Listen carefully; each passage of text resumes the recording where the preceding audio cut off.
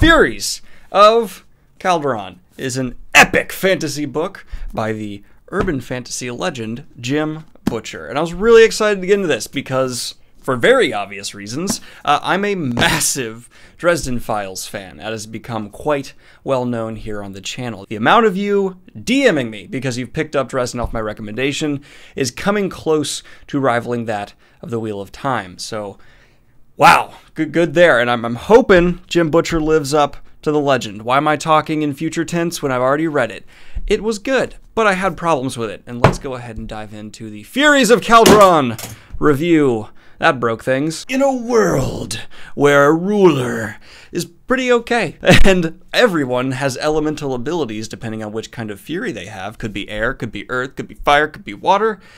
Scheming begins because there is no heir to the throne. And as politics be doing, politics starts happening. That didn't make sense, but you know exactly what I mean. We follow a cast of characters that were really the shining beacon of this story. Amara, Tavi, Bernard, all of them were fascinating. And so if you are a character-based reader, I think Furies of Calderon is going to be a solid recommendation there. In fact, let's go ahead and out of 10 the crap out of this book. I'm going to out of 10 all the features because I want to explain myself well. And let's get into character deep dive here first, and we're going to talk about spoilers at the end. So if you're worried about spoilers, don't be because that's at the end. I think this is the first time I'm wearing a hat in a video, and it's because my hair is doing weird things today. So just Moving on. Really, the spotlight is shared equally in this story, but unlike a lot of epic fantasies where you're third person limited and jumping around from person to person to person, it's hyper, hyper focused for like chunks of the book on one character, and then you will jump to another, which I actually found to be rather refreshing. It's a little obnoxious when sometimes fantasy authors just over jump between characters. Like, I've seen examples of like the same scene is happening and you jump from one to another a lot, and that don't like that. So it feels a bit slower there, and you feel like you get to know each character through their own phase uh, a lot better, which I enjoyed. So going over on basic premise, Amara is probably my favorite of the good guys, and her story begins with her trying to go through a final test to prove she can be a a black operative, a, a spy, a, an agent, an agent of the king. And without getting to spoilers yet, things go wrong, twists and turns happen, and she must prove herself while abiding by her rather stringent moral system, which is a cool type of character to have. It's actually like rare, uh, I find, for like the paladin moral type, and I mean by that someone who is lawful good all the way through, to be a central focus of a book like this. Usually you have characters who are more morally bendy, especially in the current state of fantasy. Um, but no, Amara is someone more along the lines of like a lot of my audience will be familiar with Galad, someone who sees the rules and wants them to be carried out to a T. And her growth and development, while she was obnoxious at first and not a character you like in the sense of like, let's go grab a beer, you still enjoy her as the premise and execution, respectability in that sense. Uh, moving on to the other side, we have another character named Tavi. And this isn't necessarily a spoiler, but he's different because he doesn't have a Fury, meaning he doesn't have access to the magical abilities available to these people. And I really like this alternative take on the chosen farm boy because he's not the clear center of everything. He's just like this kid in the background with a quirk who's pretty brave and kind of smart and overall, you know, you root for him. And that's just it though. Like, yeah, he's the quirky farm boy, but he doesn't steal the spotlight and the story is not his. This is not a chosen one like as he's rising up to take the lead. It's just like a kid who's got a problem Maybe something's to come of it, we don't really know. We also have Bernard and Isana, and this is one of the few tropes of fantasy that Jim Butcher actually just kind of took in stride, didn't kind of change anything about it, and that is having like the, the good ruler, someone who's a kind uh, person in charge that you just like see them as this gentle man. You're like, I, I love you a little bit, you're wonderful. And while I typically am kind of going against tropes a lot right now, they've been grinding on me more and more recently, they were handled so well in the hands of Jim Butcher that I just ended up liking them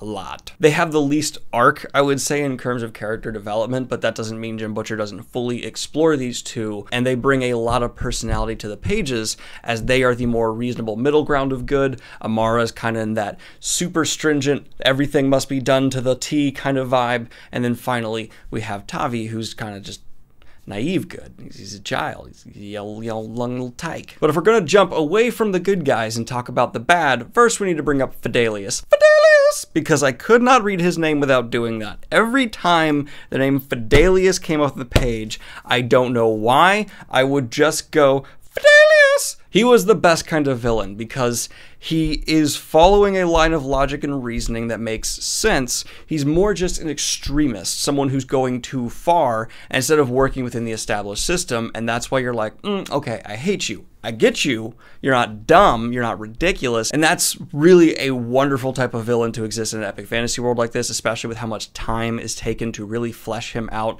and give limitations to his morality. Uh, unlike a couple other villains, let's talk about Kord. So we have like the big bad villain, and that's where Fidelias's allegiances are at. Like he's on that level, and then we just have bad people.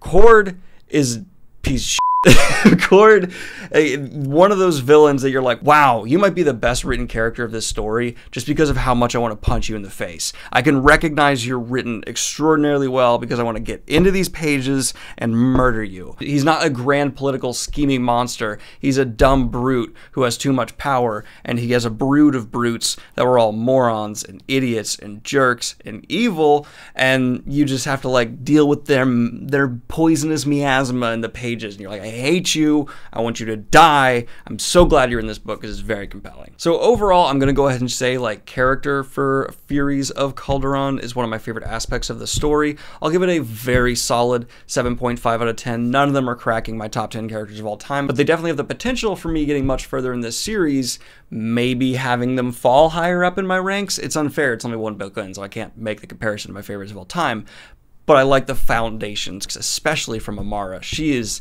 the one I'm most curious to see what her trajectory will go to, because I feel like she has the most to learn and change about. Let's swap it on over to Magic System, because this is actually something I'm surprisingly have a problem with. Very cool on premise, but the biggest weakness of this first book for an epic fantasy series is the lack of explaining, which is going to be something a lot of people like, because a ton of people pick up Malazan, Wheel of Time, Song of Ice and Fire, Lord of the Rings, these big epic fantasy things, and they cannot stand the level of explaining that occurs within the pages. They just want to be told a story. And if you're that kind and you aren't actually like questioning and thinking about like the magic system a whole lot, this criticism is not really going to apply to you. I had an issue with how much I still don't understand and how much went unexplained as I read this book. You need to explain things to me, Jim. I need to be able to connect every dot and there were quite a few dots unconnected when it came to the limitations, the origins, and stuff for this magic system in the first book. Granted, I'm extremely prejudiced as a fantasy reader, wanting things explained to me early on so I can just get in the world, understand it, and move through it. Oh, and the magic system on premise is, as I said, everyone has these abilities. They're various, like elemental powers. Someone can have earth, someone else has wind, someone else has water, someone else has fire, and then they also kind of work to cancel each other out. Like air is canceled out by earth and things like that. It's an interesting magic system and was utilized to decent effect in the story, though I think it could have been taken to more extremes, but with how epic fantasy goes, I expect it to be taken to greater extremes in subsequent books. But now flipping over to World. Uh, magic system, I'm going to say, is like a 6 out of 10. It's very cool in premise. I'm just waiting to see more from it, and I'm a little unsatisfied there.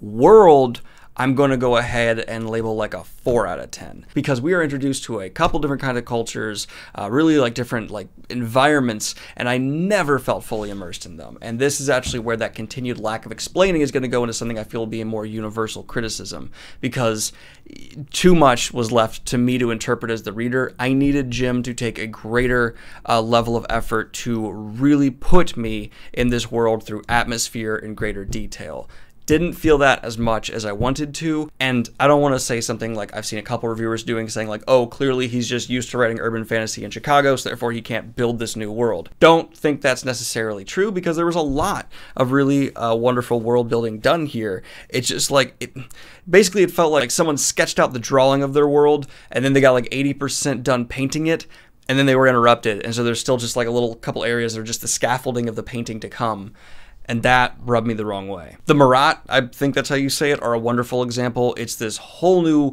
culture, system, lifestyle completely, and we spent a decent amount of time with this alternative people, but I'm never really understanding them or connecting with them. And I'm not trying to hold them up to the bar of the Dothraki or the Aiel or some culture that's painted to me that I'm, you know, uh, fully like those are the best of the best cultures fantasy has to offer. But even not comparing them to that, uh, I was left wanting. The prose is pretty typical for Jim. He doesn't seem to try and change it up too much uh, from Dresden, although, well, this one is not written in first person, which might be a jarring thing for uh, many Butcher fans because it's epic fantasy, and I think most people are going to be fine with that. And he handles third person quite well. I took a brief amount of time throughout the book to kind of just be like, how is he writing compared to his first person?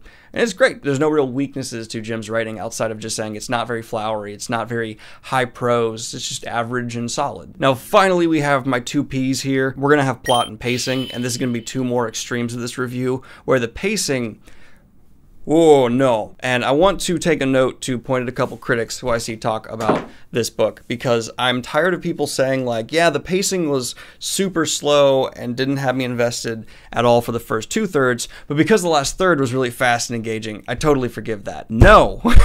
if the first two thirds of a book are too slow or not engaging enough due to the pacing, that is a flaw. Don't forgive it just because suddenly at the end there's a big climax and a lot of action. Because books should be compelling from beginning to end. You don't need to excuse writers who fail to accomplish engaging momentum of story from first chapter to last. That is something that can be done and is a legitimate criticism. And I will say, this suffers exactly from that, where up until about maybe here, I was a lot colder on this book. This last amount was really action packed, but if you're someone who can't push through uh, a text to get to an ending, another big issue you might have.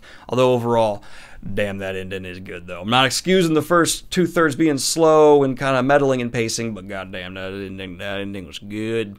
That ending had me going. And now let's talk about plot, which is actually where I think this book shines the strongest. And while I had the issues I've brought up with uh, Furies of Calderon, I pretty much understand why this uh, is so praised because most readers care the most about character, which I said was really strong, and plot, which is also really strong. And so if you're able to kind of just not be bothered by these other things, you're pretty much good. And you'll probably be one of the diehard fans of this one here. Uh, but I didn't necessarily love those other elements. But talking about plot, this is damn good plot. There is a wonderful blend of characters going on an adventure style storytelling where they're going through the wilderness trying to get to the next safe place as their enemies chase them. Loads of that, and that's usually like the strongest uh, character work there. But if you're more of a I want to see the political maneuverings behind the curtain person, lots of that too. We are seeing how exactly these monumental world events events that are occurring originate and then seeing the ramifications of those decisions trickle down to uh, the you know individual holdings of this world and all the way down to our characters experience the, experiencing those ramifications. So that was really nice. I really actually admire uh, story that takes the time to show us from A to Z why is something occurring? And there was at no point when you know I was left asking a lot of questions with world and magic system.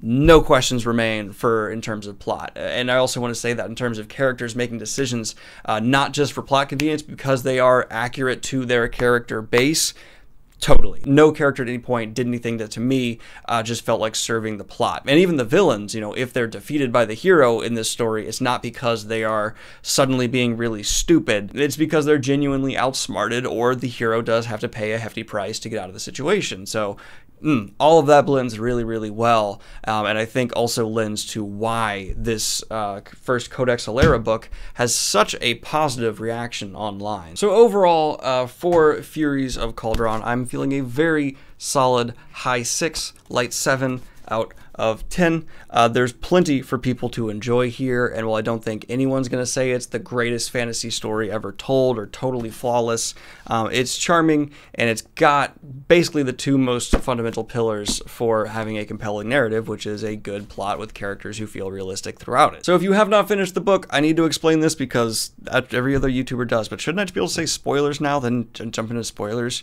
Yeah, spoilers. Get out. What I want to talk most about here when it comes to spoilers is Amara. She was interesting for so many reasons from the beginning to end, and seeing her at the end of this story be a lot more confident in who she is and, you know, her decision making, because that's really what frees her a lot at the start of the story. By the end, it feels like a lot of those chains have been broken off from her, and she is still uh, stands by her morals. She's not someone who's completely changed in an unrealistic fashion. Uh, she still has this rock solid bed of, I believe these things and I will fight for them and I won't compromise. Now it's someone who feels more human around there, less stiff in who she is. Now her relationship with Fidelias is kind of the best foil she could have had, right? Someone who has kind of decided to go for their more self-interest based and okay this is how i view the world and i'm going to do whatever it takes extreme well she is much more in this reserved you know i'm loyal i believe in the established system and then that being the student of the person who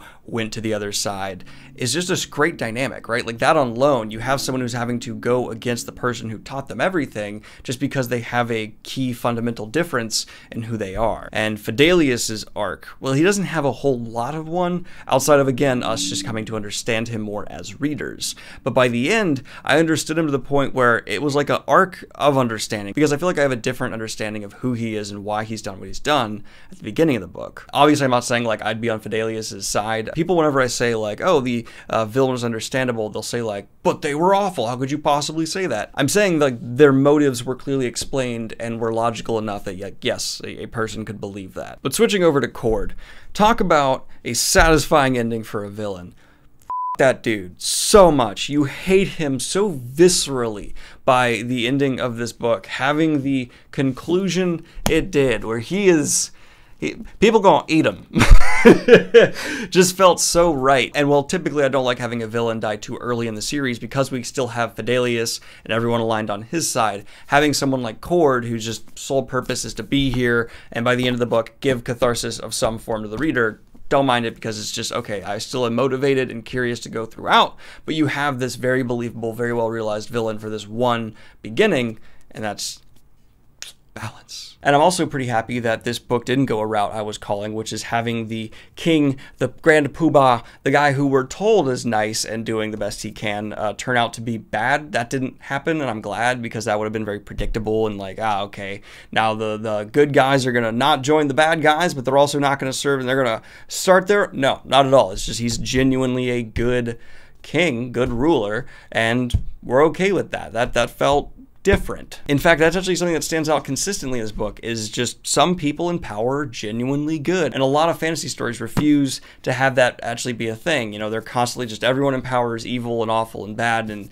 the little guy's going to rise up and take them down. Um, no, they were actually just presented as okay, this is a genuinely good person who happens to be in power. Uh, I like that we see these hordes of monsters really do awful damage to the land, the people who are the protagonists, the good guys, and I thought Fidelias would then uh, chicken out, back down doesn't happen. You know, he stands by what he believes and he's well aware of the ramifications of his actions. I guess I was just like underestimating the narrative, and it turned out it was a pretty damn good story, so I was proven wrong. Even that last scene with Fidelias landed quite well with me because it did feel a bit formulaic at the end of like, oh, okay, the climax is over, the protagonists unite, and you know, oh, great, okay, and oh, we're showing the bad guy still got a thing. And then we have the one last little character, ha, send off that, mm, you know, I didn't love that literal exact formula being redone, but what was done with Fidelias was something that was pretty much shown to be happening throughout the book, and the fact that we just get to see the full scope of the situation where there are two knives at the king's back ready to go, and you feel like, oh,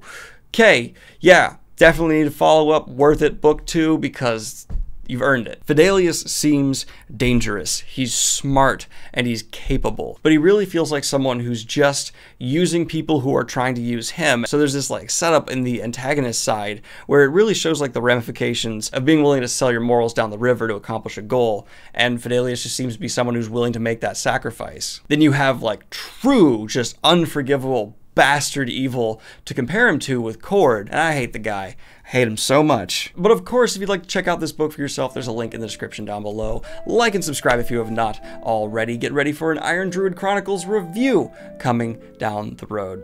And have a good one, y'all. Peace. And of course, I'd like to record a special shout out to my latest high tier Patreon, Jefferson Stockstill. Thank you so much for the support, and I hope you're having a wonderful week.